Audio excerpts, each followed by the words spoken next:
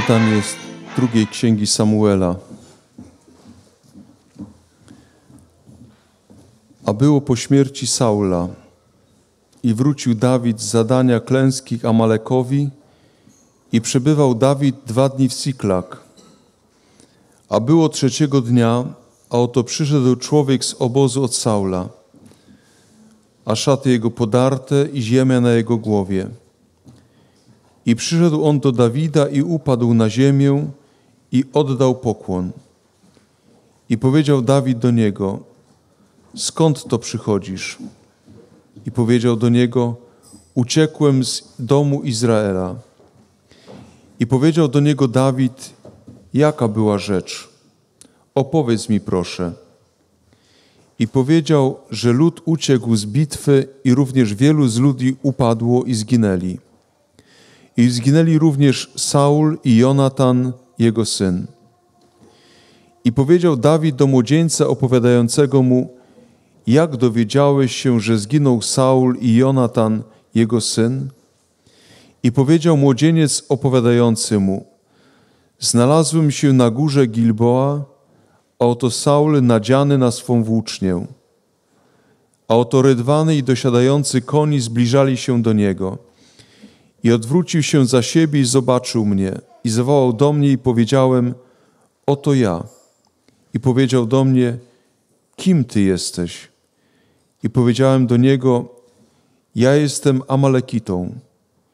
I powiedział do mnie, stań przy mnie, proszę, i dobij mnie, bo chwyciła mnie agonia, ale ciągle jeszcze jest we mnie moje życie.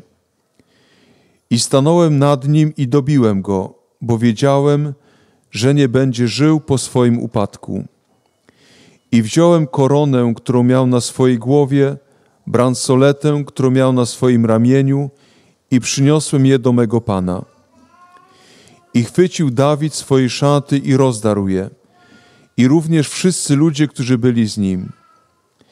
I lamentowali i płakali i pościli do wieczora z powodu Saula, z powodu Jonatana, jego syna, i z powodu ludu Jahwe i z powodu domu Izraela, że polegli od miecza.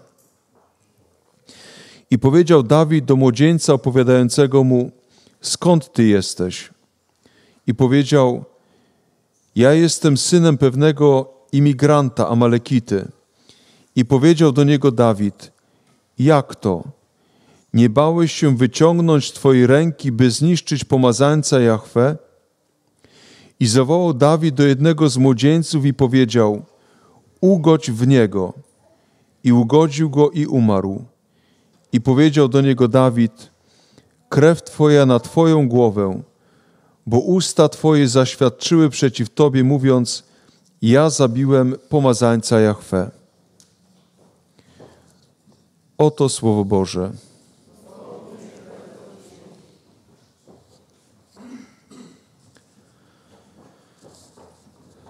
Może pamiętacie, że dwa lata temu mieliśmy e, historię grzechu e, Dawida, czyli te rozdziały od 9 do 12 z drugiej księgi Samuela. E, dzisiaj wracamy trochę, jeśli chodzi o chronologię, wracamy, wracamy do pierwszych rozdziałów, które pominęliśmy. E, bo myślę, że ważne jest e, zrobić całą tą historię, e, nawet jeśli to chronologicznie nie jest jedno po drugim, to jest to historia, którą Pan Bóg robi też z nami. Ta historia grzechu, odpowiedzi też człowieka, bo ostatecznie Pan Bóg mm, dopuszcza, czy, czy daje nam nawet te pokusy, które, które daje nam, Oto modlimy się Ojcze nasz, e, odpuść nam nasze winy, nie wprowadzaj nas w pokusę, że jest pewne doświadczenie, które Pan Bóg robi z nami, doświadczenie trudne, doświadczenie, które nazywamy pokusą, e, które ostatecznie może posłużyć dla naszego dobra, żebyśmy zobaczyli, jacy jesteśmy, żebyśmy również e, w tym naszym byciu słabym mogli uwielbić Pana Boga. Dawid po grzechu z Batrzebą modli się tym psalmem 51 i tam jest takie słowo, którym się modlimy często. Właściwie to jest pierwsze słowo, które powinno się brać każdego dnia na, na swoje usta. Mianowicie, Panie, otwórz wargi moje, e, aby, e, a usta moje będą głosić swoją chwałę. Że to jest prośba Dawida, którą wypowiada po grzechu, zaraz po grzechu. Dlaczego to jest też takie, takie ważne? Dlaczego Kościół bierze to słowo jako pierwsze? Nie tylko chodzi o te usta, ale że generalnie mamy problem, że w momencie, kiedy e, jesteśmy w grzechu albo jesteśmy po grzechu, żeby rzeczywiście wielbić Pana Boga, że diabeł nas tak okręca, e, że, że wmawia nam, że my po grzechu nie mamy już żadnych szans, że wszystko zostało zaprzepaszczone, że e, nie ma już drogi odwrotu że Pan Bóg się nami do tego stopnia brzydzi, że, że nie ma w ogóle przed Nim co stawać. Natomiast ten psalm i ta modlitwa Dawida mówi właśnie e, uwolnij mnie, oczyś mnie, żebym e, głosił Twoją chwałę. Nawet w grzechu, nawet po grzechu, tak jak jest On. I że mimo wszystko Pan Bóg tym, którzy Go miłują, pomaga we wszystkim do dobrego. Nie to, że Pan Bóg chce tego grzechu. My jesteśmy głupi i w grzech wchodzimy, ale to jest też nasza natura, e, która jest tą naturą człowieka upadłego, która na, e, na tym też polega, że, że wchodzimy w grzechy. Pan Bóg nas chce przed tym, przed tym przestrzec, ale czy chcemy, czy nie chcemy, większe czy mniejsze grzechy, wchodzimy i wchodzić będziemy. Ale Pan Bóg pomimo tego i w tym wszystkim woła nas do, do uwielbiania Go. Dawid, i to była jego wielkość, nie to, że nie zgrzeszył, tylko przez to, że nawet po tym grzechu wszedł w uwielbienie Pana Boga. Święty Ireneusz mówił to słowo, że największą chwałą Pana Boga jest człowiek, który żyje. Nie, nie ten kosmos, który jest, który jest wielki, który my e, coraz bardziej jako ludzie e, eksplorujemy i, i wiemy, jak, jak, jak on funkcjonuje i tak dalej nie ten cały wszechświat, który jest. Y, człowiek żyjący to jest y, największa chwała Boga. I tą chwałę chce, chce ukraść Panu Bogu demon poprzez grzech i poprzez to trwanie w grzechu. To już święty Augustyn bodajże mówi, że zwycięstwem demona największym nie jest to, że człowiek upadnie, tylko że w tym upadku trwa że jak gdyby ten, ta pokusa jest, jest taka dwustopniowa e, demona. Doprowadzi człowieka do grzechu i potem, co jest jeszcze gorsze, to jest w tym grzechu utrzymać.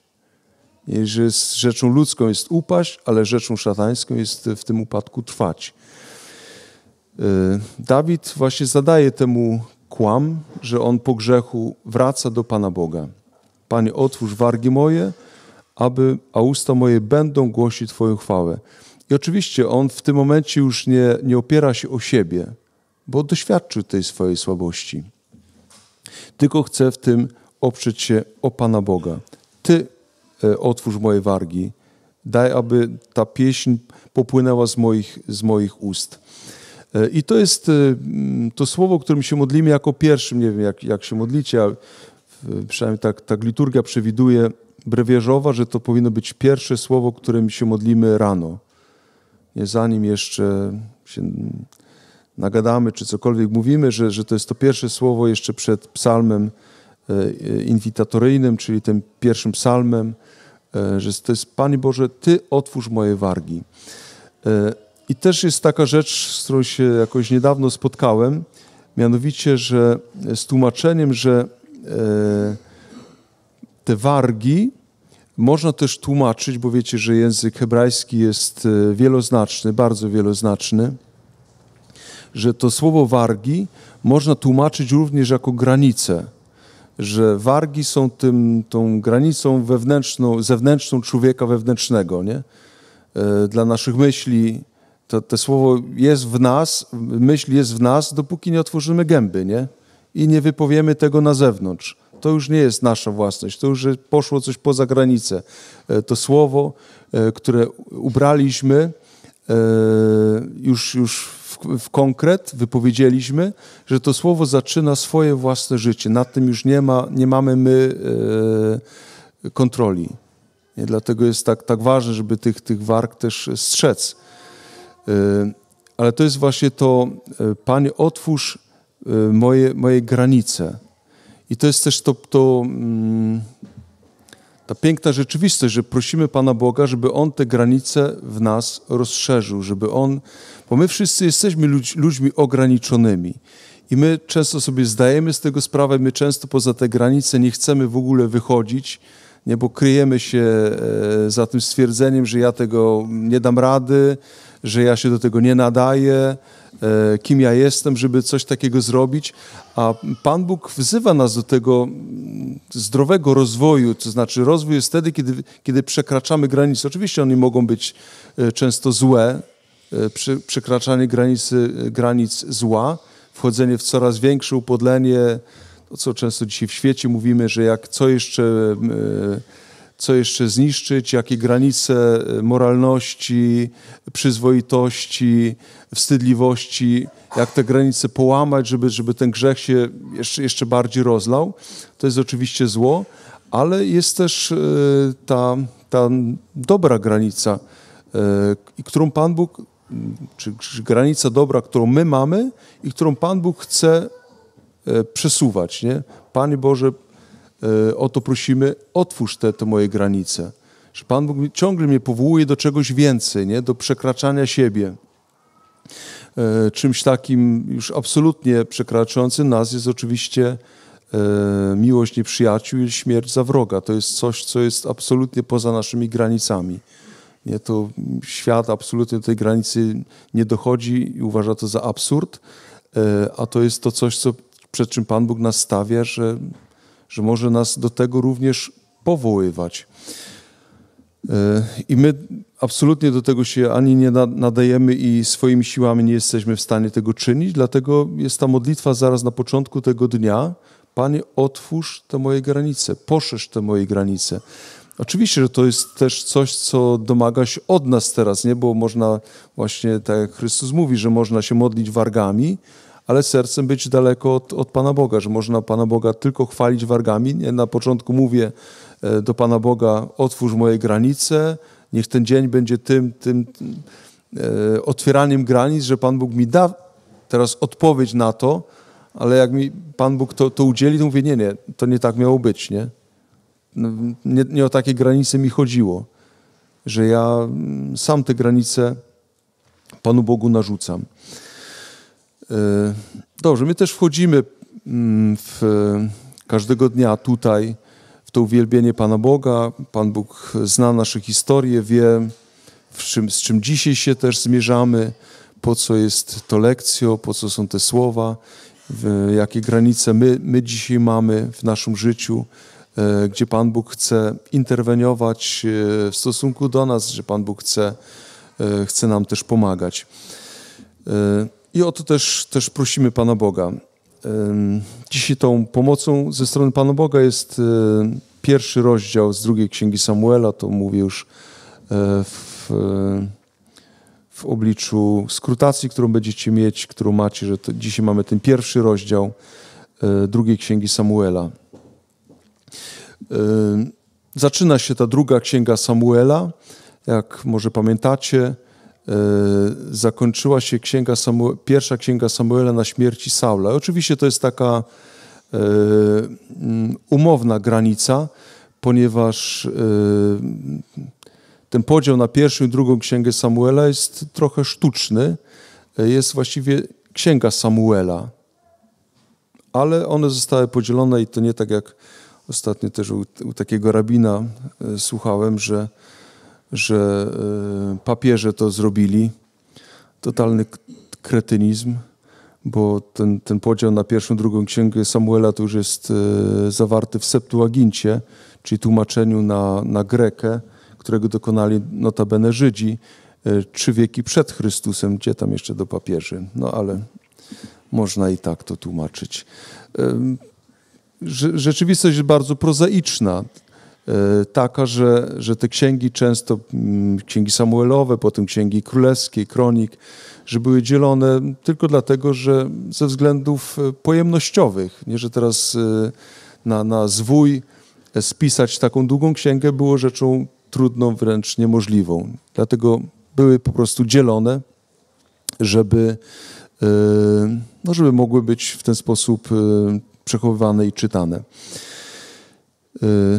E, dobrze, jak pamiętacie,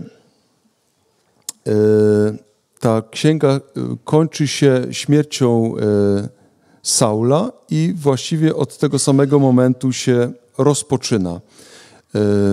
Tylko, że o ile tam była opowiedziana ta historia, że tak powiem, obiektywna, co się wydarzyło, tak e, tutaj jest ona opowiedziana ustami tego Amalekity, który przychodzi do Dawida, żeby mu tą, e, tą e, wiadomość teraz przekazać.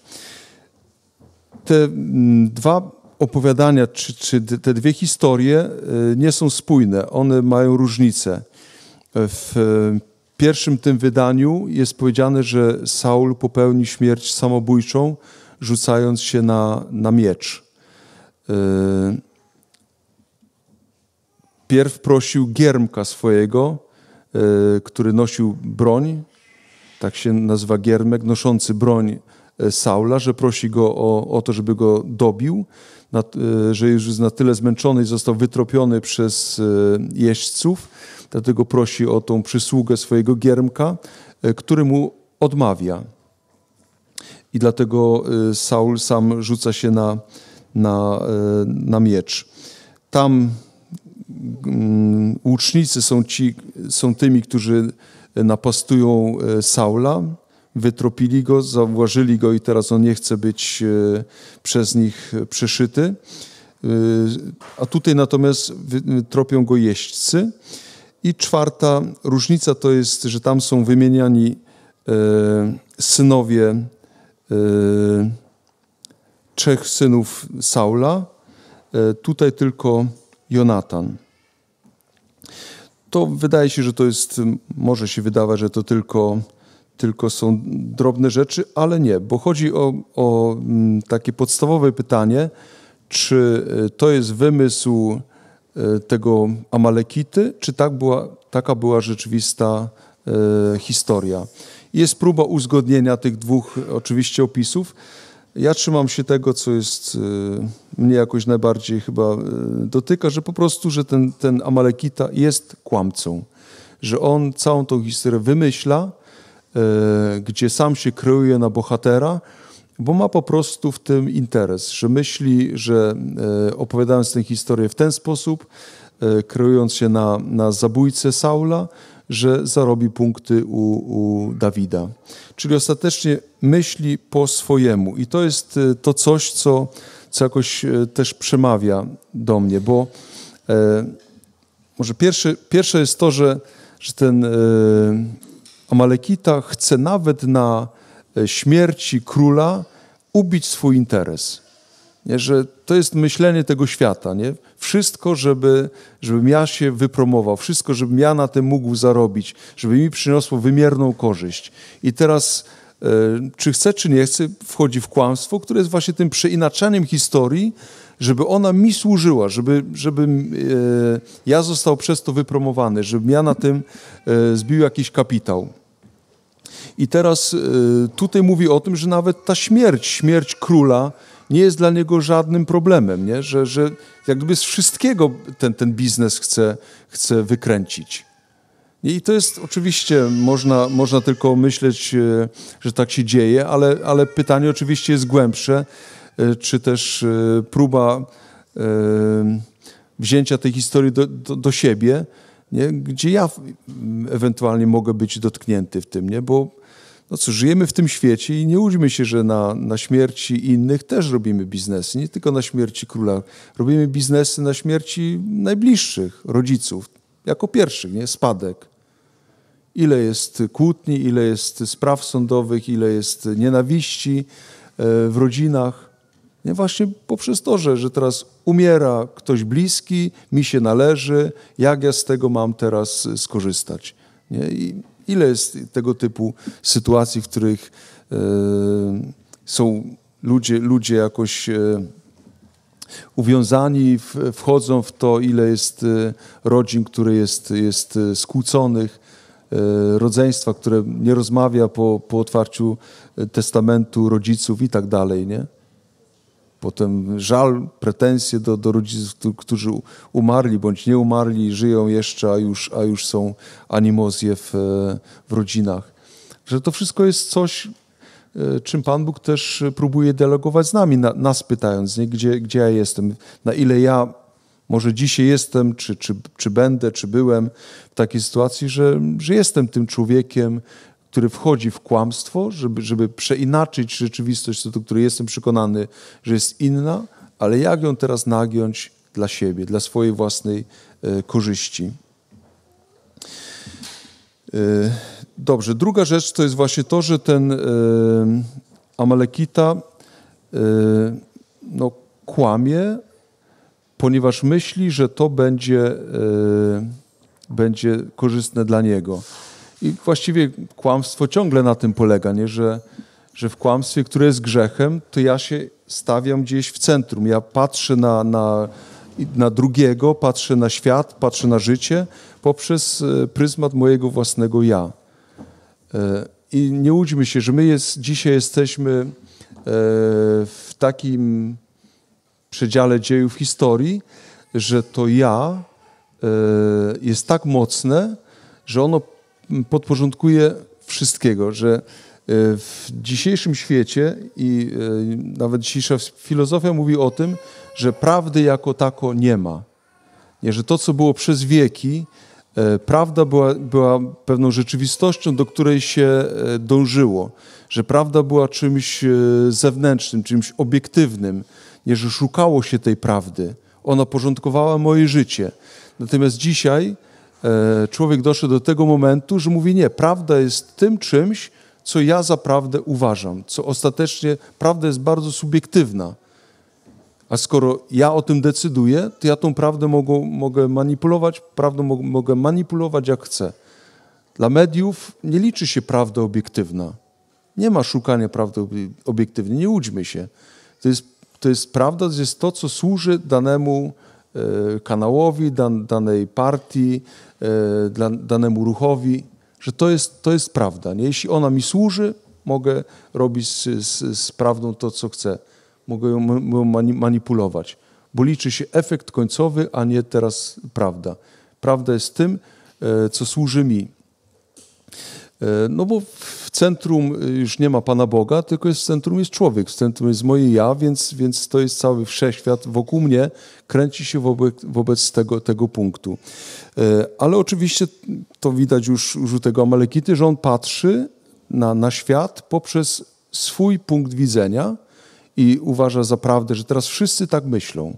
A on myśli jak? No właśnie myśli w ten sposób, że teraz e, Dawid to jest, to jest człowiek, który jedynie walczy o władzę, i teraz ja mu mogę przynieść tą, tą informację, że, że władca, że on jest teraz władcą absolutnie niepodzielnym, bo jego konkurent e, został zniszczony. I to jest ta dobra nowina, na którą czeka tak naprawdę ten Amalekita, że on żyje takim przeświadczeniem, nie? że teraz wyeliminować moich wrogów. Ja tak myślę. I gdybym ja był Dawidem, to bym się z tego ucieszył, że teraz e, jest, jestem władcą. Druga rzecz, że on ma, nie ma w sobie tego, co ma w sobie Dawid, że on nawet, nawet nie jest to w kręgu jego zainteresowania, że może być tak, że nieprzyjaciela można kochać. Absolutnie. Nie? On wie, że, że nieprzyjaciół się nienawidzi, nieprzyjaciół się likwiduje. E, to jest persona non grata w moim życiu. I teraz on przez ten pryzmat patrzy, czy, czy, czy ten punkt widzenia też podaje Dawidowi. Dawid też tak myśli.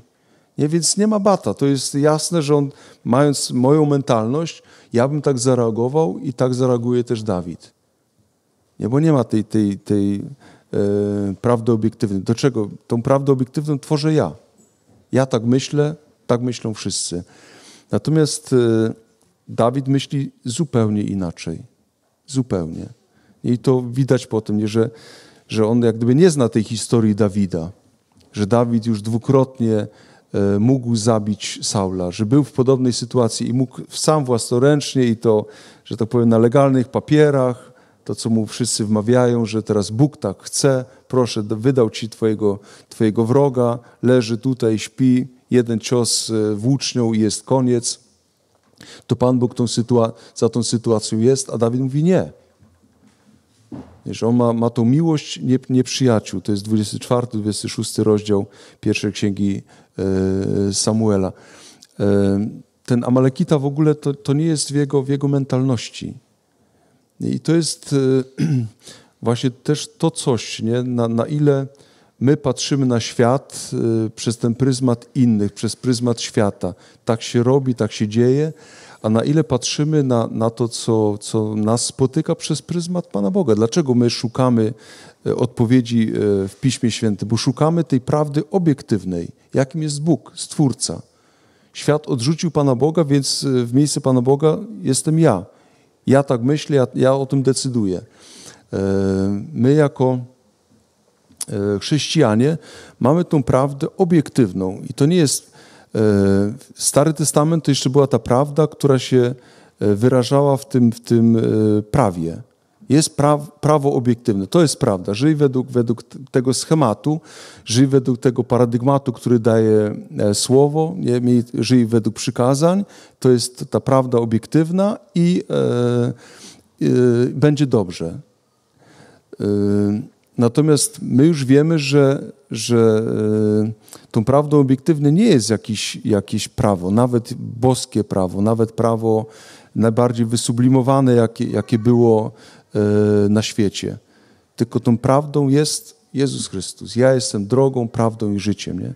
Ta, ta, ten miernik obiektywny e, prawdy to jest osoba. I dlatego, bo, bo, prawo to zewnętrzne, możesz, możesz być posłuszny, ale możesz być właśnie to, co, o czym święty Paweł mówił, może być niewolnikiem tej, tej, e, tej, tej prawdy.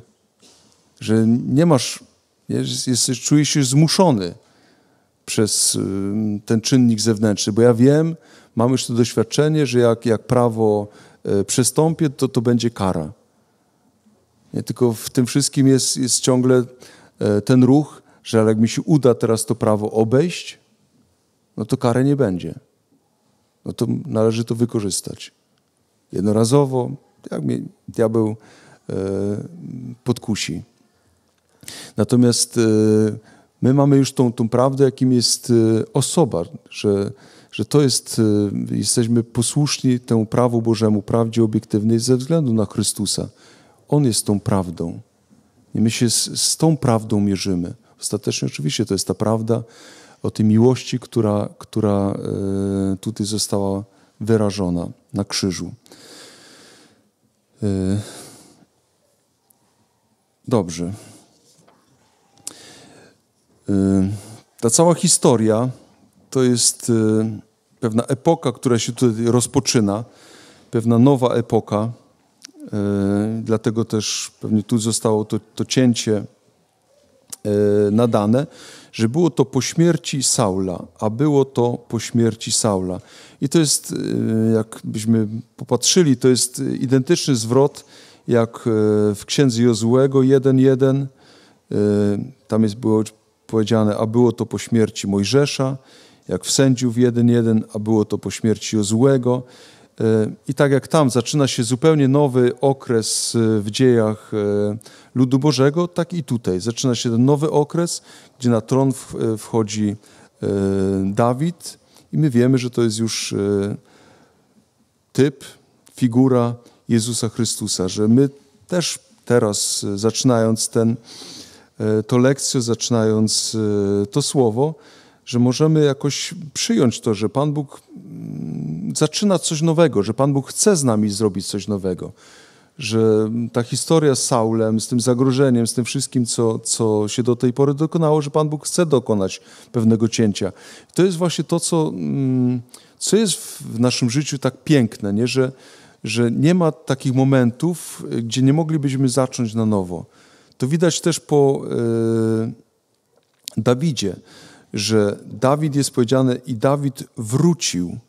Dawid wrócił, bo Dawid, jak e, pamiętacie, w tym momencie, dlaczego nie jest przy Saulu? Ponieważ jest e, w służbie u Filistynów, jest Siklak. W tym momencie, kiedy, kiedy Saul przegrywa tą bitwę na wzgórzach Gilboa, e, Dawid ściga Amalekitów, zabija ich, bo oni okradli tam jego obóz i, i zniszczyli. I to, jest, to są jak gdyby te dwie bitwy, które są czasowo paralelne nie wiedząc jedni o, o, drugich.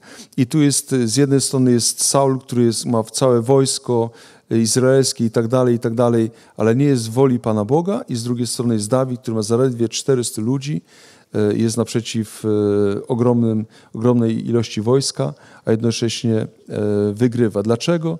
Bo jest tylko jedno wytłumaczenie, że Bóg był z, z Dawidem. Saulem przestał być na skutek grzechu Saula, ale jest, jest z Dawidem i e, prowadzi tego Dawida. Ale Dawid tak naprawdę w całej tej, tej historii, którą żeśmy przerabiali, to jest Dawid jest, jest człowiekiem, który nie do końca pełni wolę Bożą, bo jest człowiekiem, który jest w ucieczce. Jak uciekł po raz pierwszy z dworu Saula, e, kiedy Mikal go tam e, ochroniła i uciekł, od tego momentu cały czas jest w ucieczce.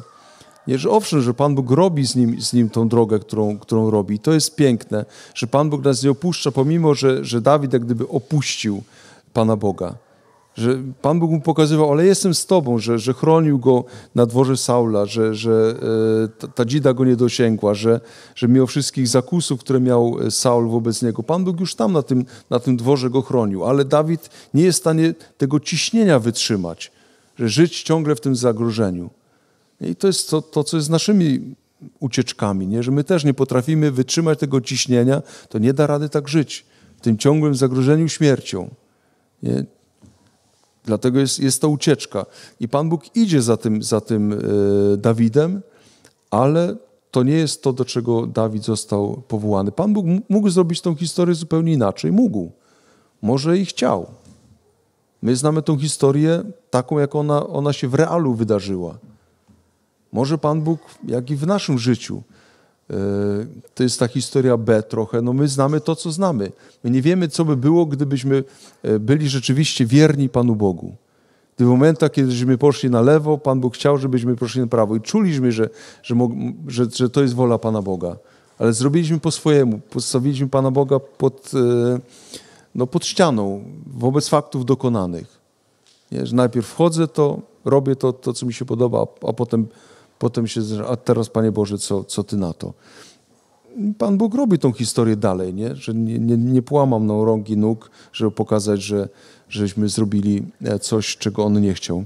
Tylko Pan Bóg e, idzie za nami. I tak szedł też za Dawidem. I tu po raz pierwszy jest powiedziane, że Dawid wrócił. To wrócił to jest słowo szub e, i ono najczęściej oznacza w sensie duchowym nawrócenie. E, te szuwa to jest ta skrucha, tam jest też to, to, to słowo e, szów, e, które, które z, z, zawiera w sobie to nawrócenie.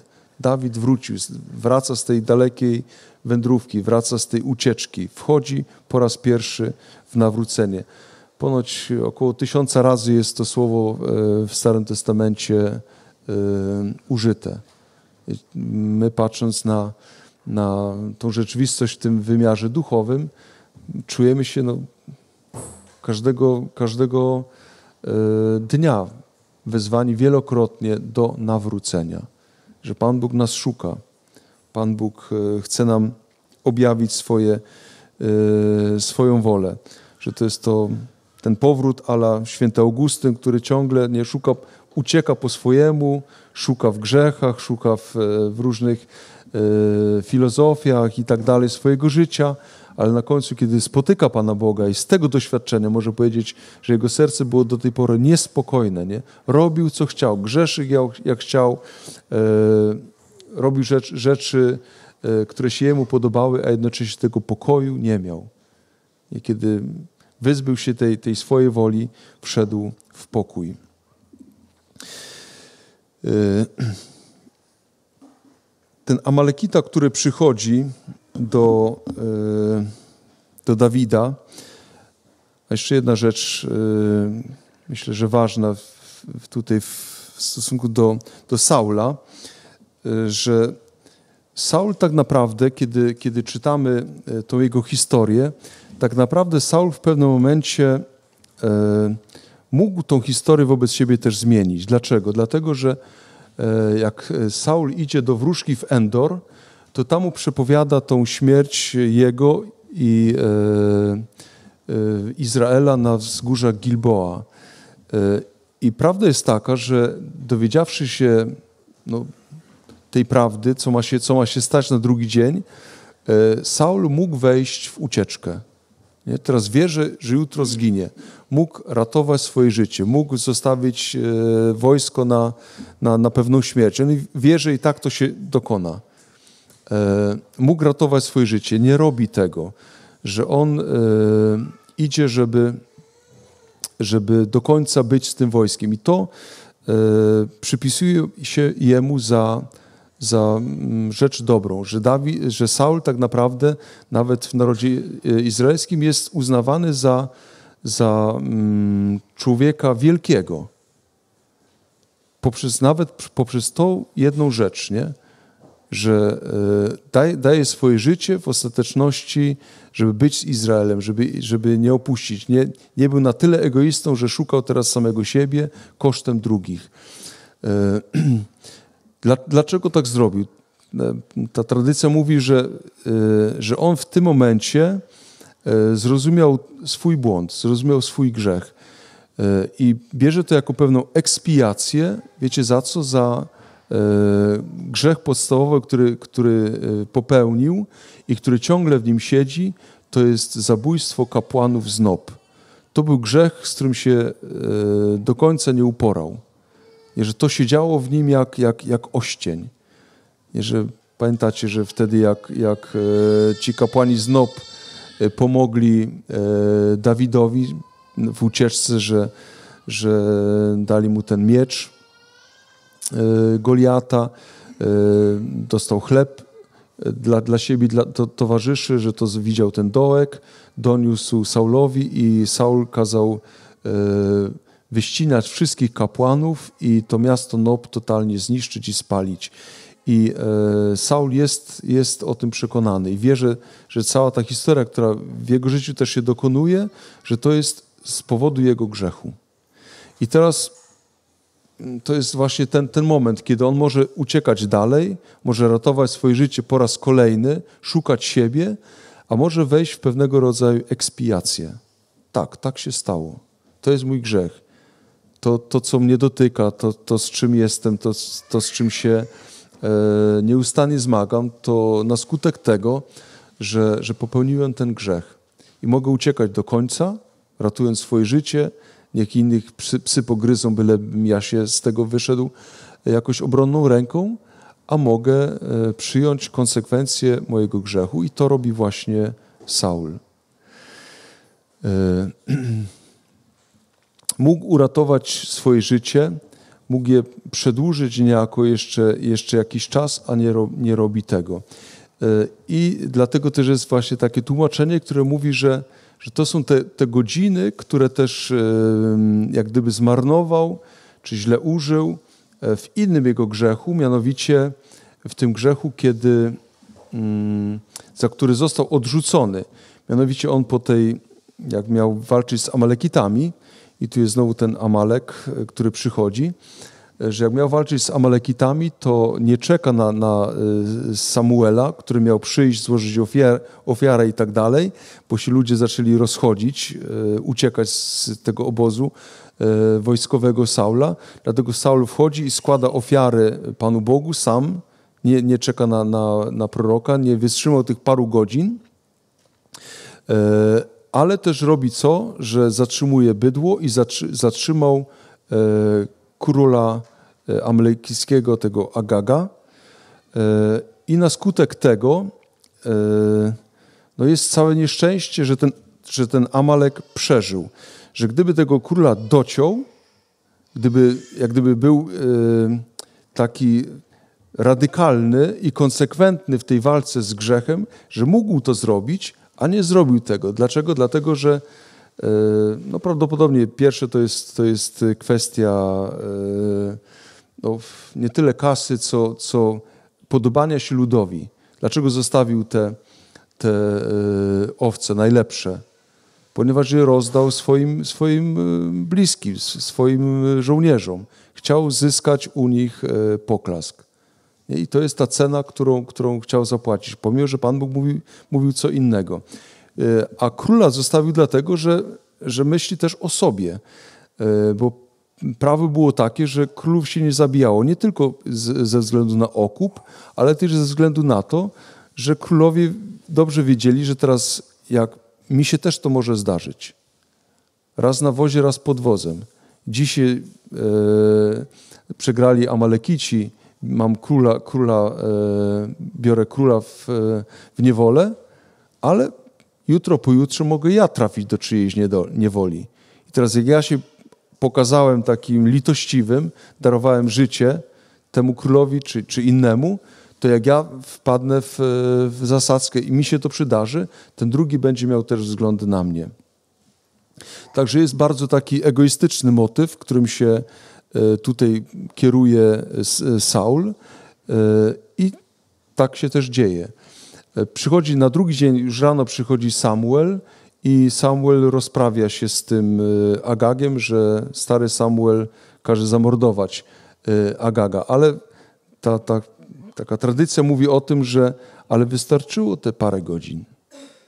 Dlaczego? Dlatego, że że ten Agag był piękny, szarmancki i tak dalej. Nawet jeśli jest y, tam przechowywany czy, czy strzeżony w tym pokoju, to mm, przychodzi do niego Izraelitka z jedzeniem, służąca. No i wiecie, jak to się kończy w historiach, że wykorzystali tę tą, tą sytuację, żeby e, być razem. Y, i Agag zostaje, zostaje ścięty, ale jego potomstwo żyje już w tej y, kobiecie izraelskiej. Żona potem rodzi, rodzi to dziecko i mówię, że to jest to nieszczęście, które potem jest, jest, idzie dalej. Nie, że potomkiem tego króla Agaga jest między innymi y, Mardocheusz, który potem chce zniszczyć i całego, cały lud izraelski w księdze Judyty. Nie, że to jest to jest pewna taka, taka podpowiedź, nie? która mówi o tym, że, że ten grzech, który myśmy nie doczyścili, nie dobili, że, żeśmy się zlitowali z takich, a nie innych powodów, najczęściej egoistycznych, e, nie wiem, kasowych, obojętnie z czego, że to ma swoje potem przełożenie, nie? że mogliśmy coś, coś mm, naprawdę jakoś oddać Panu Bogu, mogliśmy coś wyczyścić, mogliśmy zmienić tą historię, a na skutek e, tego, żeśmy tego nie uczynili, że ta historia zaczyna e, iść swoim własnym życiem. To widać też e, już tutaj też, że, że z tymi Amalekitami Saul ma ten, ma ten problem, że ten, ten człowiek, który go zabija, to jest właśnie Amalekita. Aczkolwiek to jest e, Amalekita, który jest już w Izraelu. Że jest kimś, który nie jest zupełnie obcy, bo jest tak zwany ger, czyli, czyli wprawdzie obcy, ale który jest już taki trochę, e, jak się mówi, naturalizowany. Że jego ojciec już przybył, więc on już jest urodzony jako e, w Izraelu. I to jest to coś, co, co dotyka Dawida, że, mm, że powinien już, skoro jest, żyje wśród Izraela, to znaczy, że nie są mu już obce prawa Izraela to prawo, które mówi, że, że nie wyciągniesz rękę przeciwko pomazańcowi. Dlatego ten gniew potem Dawida na, na tego człowieka i, i to jest też to, co, co Dawid robi, że każe, każe tego Amalekitę zgładzić. Gdyby Saul miał tą, tą, e, rady, ten, tą radykalność, ten radykalizm, byłoby, ta historia byłaby inna. A paradoksalnie, ten, który, który nie miał niby tą miłosierdzie wobec grzechu, czy tą, tą pobłażliwość wobec grzechu, że ten grzech na końcu zabija jego. I to jest, to jest żelazna zasada, która, która panuje, nie? Że my mamy swoje wyobrażenia wobec e, grzechu, że próbujemy grzech oswoić, ten grzech wykorzystać dla, e, dla nas, dla naszych korzyści, ale tak naprawdę na końcu ten grzech e, niszczy nas.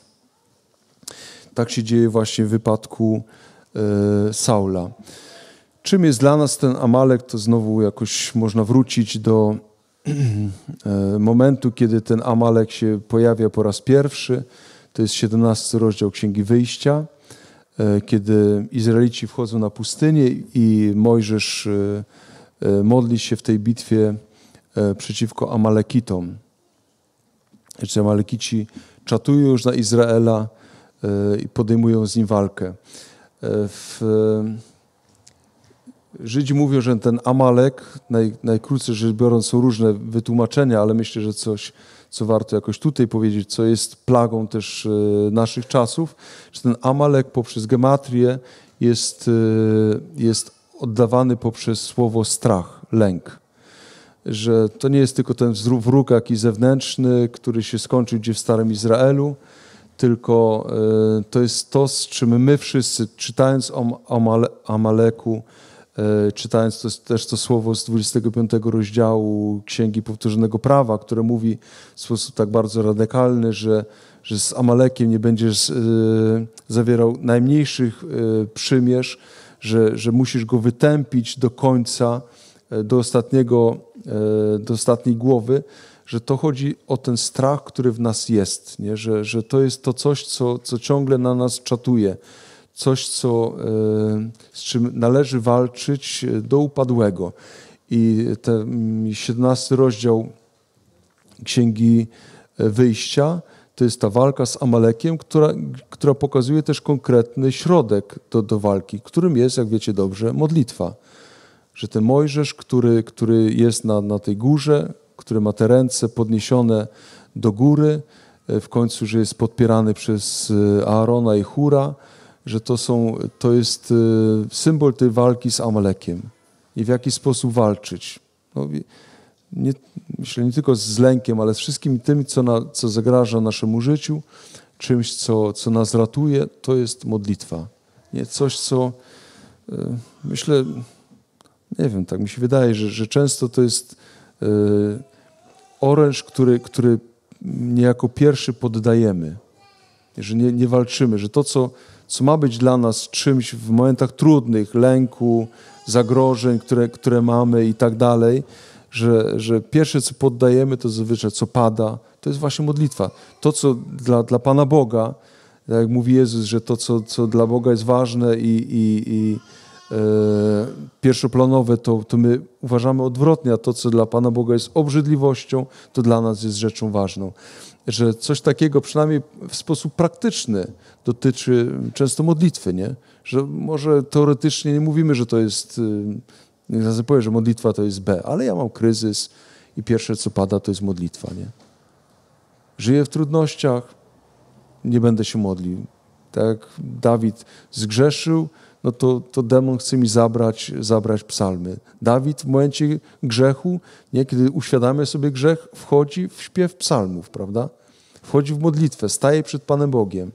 Natomiast no, my często mm, postępujemy dokładnie odwrotnie, że to jest moment, kiedy my od Pana Boga się odwracamy, zgorszeni może i sobą, ale za tym stoi właśnie demon, który to wykorzystuje, żeby, żeby nas od Pana Boga yy, odwrócił, że my mamy tą inną perspektywę, nie, że nawet w momencie trudności, że, że Pan Bóg daje nam krzyż, nie, który mówi nam w sposób e, jasny o naszym grzechu, że grzech to nie jest właśnie drobnostka, tak jak tutaj myślał e, ten Amalekita, czy jak myślał wcześniej Saul, czy myślał potem sam Dawid, że grzech można w jakiś sposób wykorzystać dla siebie. Nie, grzech że, ni, że nie, że nic się nie stało, tylko że to jest, to jest owoc naszego grzechu, to jest krzyż, e, ale to jest też to objawienie Bożej miłości, że odpowiedzią Pana Boga na nasz grzech jest właśnie przebaczenie. I człowiekowi no, trudno w to uwierzyć i wszyscy jesteśmy dotknięci e, tym grzechem pierworodnym, czyli, czyli reagujemy dokładnie tak jak e, Adam i Ewa nie, że, że po, po, grzechu co zrobić, zamiast przyjść do Pana Boga, no to szukamy tych naszych krzaków, nie? jak się przed Panem Bogiem ukryć, jak, e, jak przed, przed, mm, od Pana Boga uciec, nie? załatwić to po swojemu, z lęku przed Bogiem, z, z egoizmu, który, który w tym momencie e, dopadł człowieka. Natomiast Pan Bóg e, prowadzi nas e, do siebie.